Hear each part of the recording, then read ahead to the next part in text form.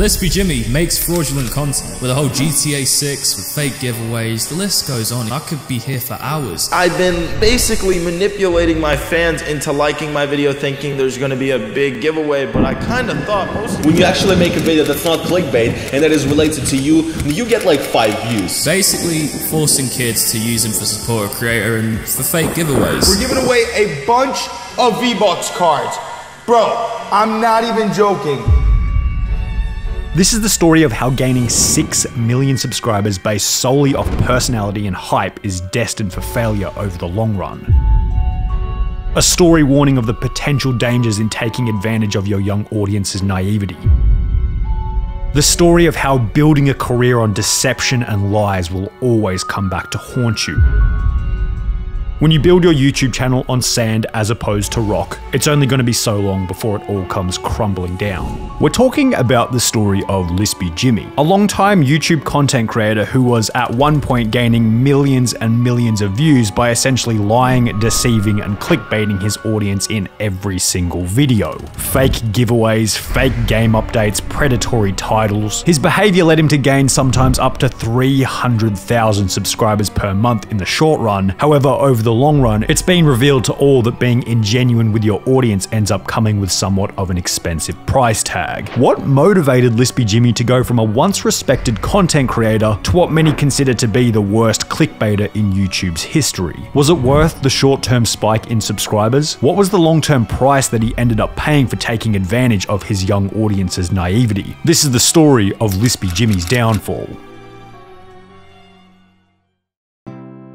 Lispy Jimmy would begin his journey as a YouTube content creator all the way back in October 2012. And in the beginning, there was little that indicated that this creator might end up as one of YouTube's most notorious villains. He was simply posting gaming videos on both Grand Theft Auto and Call of Duty. What is going on everybody, Lispy Jimmy here, and in today's video guys, I got a Call of Duty The growth of Jimmy's channel was slow in the beginning, but he would begin to gain low-level popularity after uploading guide-style videos for the games he was playing. What is going on everybody, Lispy Jimmy here, welcome back, and in today's video guys, I have an awesome trick and tip for you on basically how to steal a tank. Which also led to a provision of respect from the early audience watching his content. After gaining 5,000 subscribers in his first 12 months, Jimmy seemed to make the realization that if he ramped up the overly enticing titles and thumbnails, the videos would appeal to a wider audience. Get Master Prestige in one day, amazing glitch. When you collect that briefcase, it tells you to do something or a challenge. Lispy Jimmy never did show his audience how to get Prestige Master in one day, or the amazing glitch, it was fake. But considering the nature of the platform back in 2013, this video performed extremely well, and along with other videos promoting insane money glitches in GTA 5, Lispy Jimmy would go from 5,000 subscribers to 100,000 subscribers within the space of only two months. Now while this was awesome for his channel, what it did for Lispy Jimmy himself was a little more insidious. It began to reinforce the idea that the most effective way to grow his audience was to make the most outrageous clickbaity titles possible regardless of the content within. GTA 5 online millions in minutes. You guys can make insane amount of money, super fast and easy, no problems. This clickbaity video having significantly more views than the many surrounding it, reinforcing that using clickbait was the most successful strategy for making his channel thrive. For this reason, the clickbait nature of Jimmy's channel would slowly get more and more severe. GTA 5 online ghost caught on camera. GTA 5 online money glitch scam warning. These are um scams. It's like one basic guy or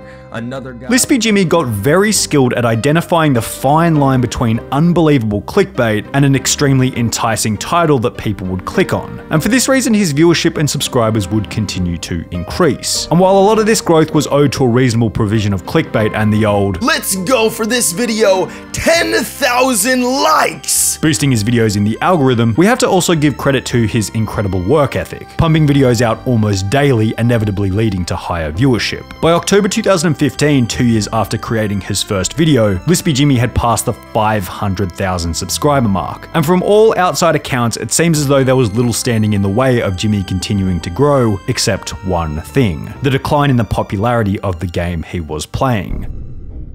GTA 5 is dead. Nobody plays it anymore unless you're 11, and it's the only game you could afford. So basically, all these channels are, are starving for views. As 2016 rolled around, GTA 5 was pushing 4 years of age and ultimately experiencing a decline in popularity. This led GTA 5 YouTubers to consider two different options. They could either continue to make videos on GTA 5 which appeared to be on its way out over the long run, or alternatively jump ship to a new content style. Lispy Jimmy would ultimately choose the latter, and after clickbaiting a potential face reveal one, two, three, four, five, six, seven, eight times, he would reveal his face. Dude, they're never gonna Jimmy. And begin making a mix of both IRL and GTA content. However, there was a problem with this. Since most people knew him for his GTA videos, his IRL content didn't get many views. And while this was a problem in the short run, Lispy Jimmy certainly had a solution that worked in the past. Pump up the clickbait. YouTube is deleting my channel, please watch. Kid gets arrested playing GTA, you won't believe what happens. Caught girlfriend cheating in the act, you won't believe what happens. Clickbait had become far less acceptable by 2016, but it was still a time at which pranks in the hood gone wrong was still a norm on YouTube, and therefore Jimmy's clickbait would be beneficial, and his channel would grow past 2 million subscribers. Thank you guys for 2 million subscribers. We just did a live reaction. You guys saw my reaction. It was awesome. And while once again it seemed as though Jimmy's channel was going to continue growing forever, there was a new obstacle that would present itself, leading to a slowdown in his growth. The inevitable changing of the YouTube landscape. As the cancerous nature of YouTube in 2016 and 2017 began to establish itself as the new normal, the platform began to see an explosion of channels created for the sole purpose of discussing and therefore criticizing other creators. And for the first time ever, Lispy Jimmy began to get put under the YouTube microscope for his insane levels of inauthenticity. Recently, though, he started making these videos that are 100% misleading and 100% false. Then he made a fake video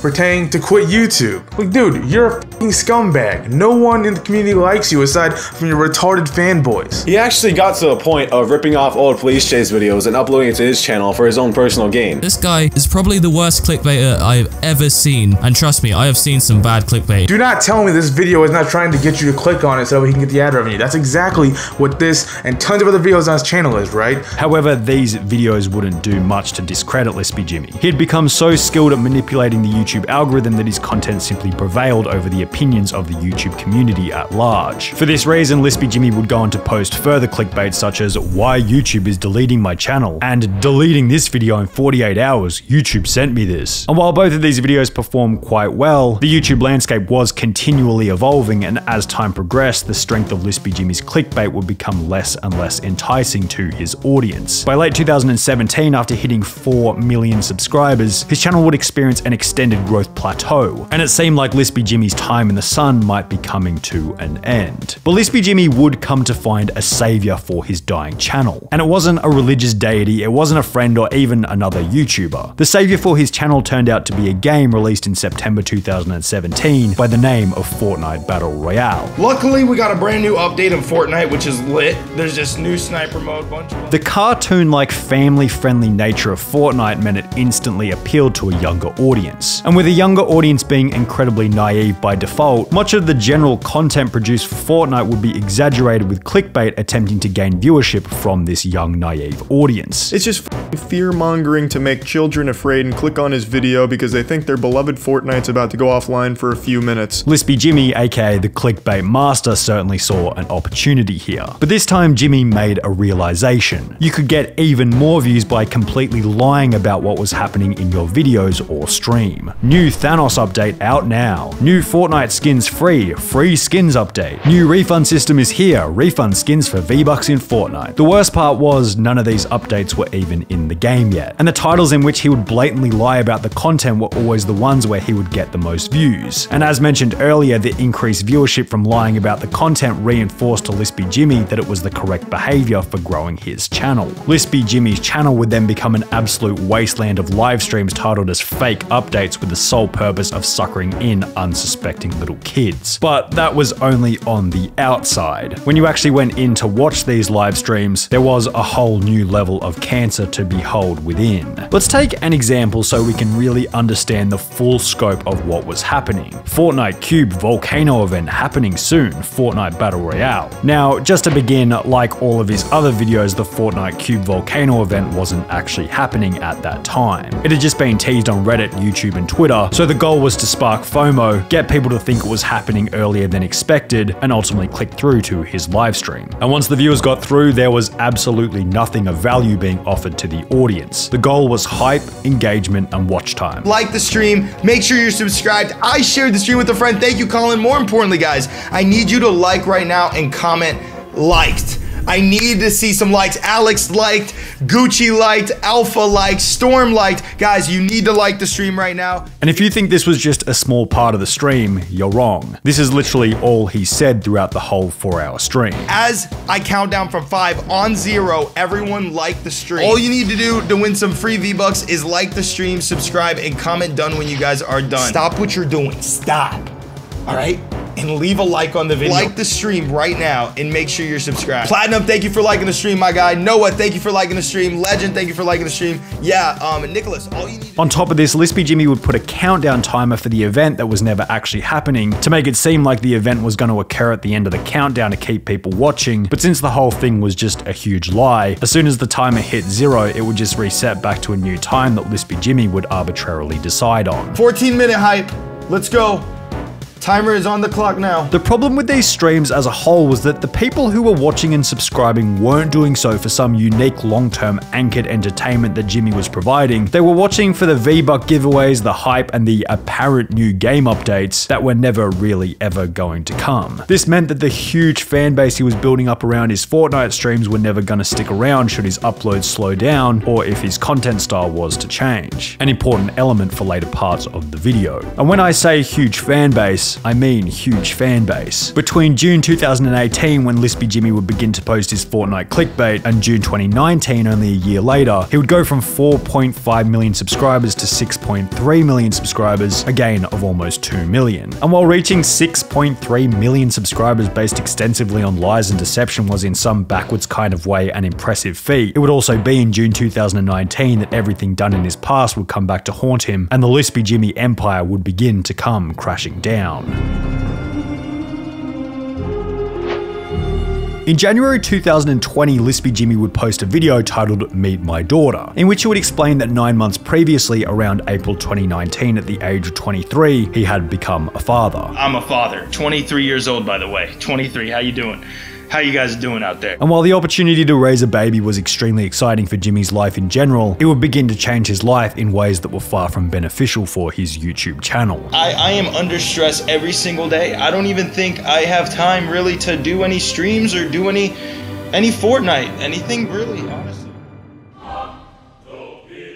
Jimmy explained that since having a child, the amount of time he had to invest into the channel had dropped dramatically, and this began to show in the content he was producing. Jimmy would go from doing multi-hour clickbaity type live streams to posting one minute videos of what was in the item shop. Now this is the item shop for today. Don't think it's anything pretty special. We do have a new skin though. Since there really wasn't much demand for seeing what was in the item shop and people could sense that there really wasn't any effort going into the content anymore, his audience would not only stop watching the videos, but also begin to rapidly unsubscribe. After gaining 430,000 subscribers in April and May 2019 through his classic clickbait strategy, June 2019 would be a different story. He would lose 15,000 subscribers, then another 50,000 in the three months following, totaling a loss of 65,000 subscribers in the four months following his change change in content. But why would his followers unsubscribe so quickly? With most content creators, they just stagnate. What was different about Lispy Jimmy? Well, it comes back to the fact that a vast quantity of his subscribers were subscribed purely for the hype and giveaways, so as soon as the hype and giveaways were replaced with boring two minute videos about what was in the item shop, unsubscribing was the only logical thing to do. Upon seeing a loss in his fan base, Jimmy attempted to return to his former strategy of clickbaiting kids with fake titles such as How to Get the Travis Scott skin in Fortnite, new Fortnite nuke event happening now, new Renegade Raider in Fortnite. But by 2019, his audience had become a little more sophisticated, and the YouTube algorithm had changed to filter out clickbait garbage and reward genuine creators with a returning audience. It's also likely that after a year of clickbaiting his audience over and over and over again, most people who are fans of the Fortnite genre on YouTube began to recognize Lispy Jimmy's name and would stop clicking on the videos because they simply knew it was a load of garbage. All of this was combined with the fact that Fortnite Fortnite had simply declined in popularity since its peak, an element that was totally out of Jimmy's control, but would certainly add to the declining interest for his channel's content. By the time mid 2020 had rolled around, Lispy Jimmy had lost 150,000 subscribers from his peak. The quality and effort put into the content had declined further, and his views had ultimately dropped dramatically once again. New gifting Lachlan skin now, 12,000 views. New Fortnite NFL skins out now, 19,000 views. Even a PS5 giveaway was only gaining Lispy Jimmy 29,000 views. Leave a like right now. If if you want a PlayStation 5. Lispy Jimmy's clickbait had lost almost all of its power by late 2020 as his audience became more sophisticated, and in October of the same year he would gain only 480,000 views, equivalent to only 15,000 views per day on a channel with more than 6 million subscribers. On the 1st of January 2021, Lispy Jimmy would post a video titled Goodbye, including a thumbnail displaying Lispy Jimmy with defeated body language indicating that he might potentially be done with YouTube. However, this would once again be clickbait with the video actually being an extremely cliched goodbye to 2020 for being such a horrible year. This year has been such a crappy year for so many people. It's time to just throw it out, dude. I am gonna try my hardest in 2021 to be the best I can be. The state of Lispy Jimmy's channel seems best summed up by this comment on the video. Honestly seems like kinda nice guy in some parts, but he's still one of the clickbaiting GTA YouTubers, so his channel will die soon. More recently, Lispy Jimmy's views have dropped even further to around 5,000 per day on average, and the content has become nothing but spending 30 seconds explaining the item shop. It looks like they added Shogun back to the item shop, also Jawblade. Then one minute of advertising a sponsor. If you've never tried Bang before, I'm telling you right now, there is so many flavors that you could choose from. And some garbage about how there might be a skin coming to the item shop at some point in the future. So Travis Scott will be making its way this week. The comments on his videos have degenerated into nothing besides your subs are dead and you never gave me my reward, showing that all of his supposed giveaways from the past might have been total bogus, a possibility considering everything else on his channel is completely fake and exaggerated for no other reason than to gain viewership. What was the real cause of death for the Lispy Jimmy YouTube channel? Well, honestly, it seemed like somewhat of a perfect storm. Lispy Jimmy had less time to create content owing to becoming a father, mixed with a declining reputation for his predatory clickbait practices, mixed with a changing YouTube landscape punishing clickbait and rewarding authenticity, mixed with declining popularity for the game he was playing and streaming at the time. It's hard to pinpoint exactly what was the most influential trigger, but they certainly all seem to play into one another, ultimately resulting in the death of Lispy Jimmy channel.